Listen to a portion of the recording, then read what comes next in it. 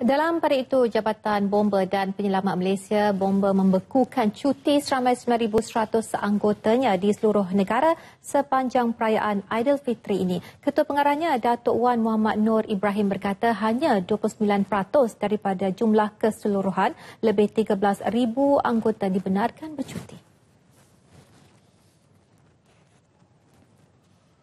Katanya sepanjang perayaan nanti anggota bomba akan bekerja seperti biasa dan sentiasa dalam keadaan sedia. Selain itu, anggota dari 277 balai bomba di seluruh negara akan melakukan rondaan untuk meninjau 16 lebuh raya yang berisiko tinggi berlaku kebakaran dan kemalangan jalan raya.